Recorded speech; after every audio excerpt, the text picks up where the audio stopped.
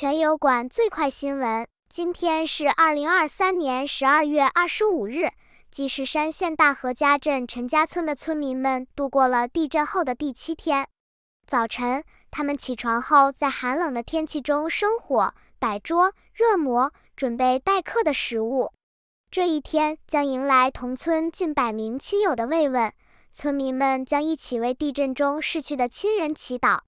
二零二三年十二月二十五日，积石山地震，这已经是地震发生后的第七天。地震的残酷现实让这个小村庄的居民们深受创伤，但他们仍然展现出了团结和坚强的一面。大家期待着未来的重建，并希望受灾地区能够尽快恢复。订阅新闻极速递，最先知晓天下事。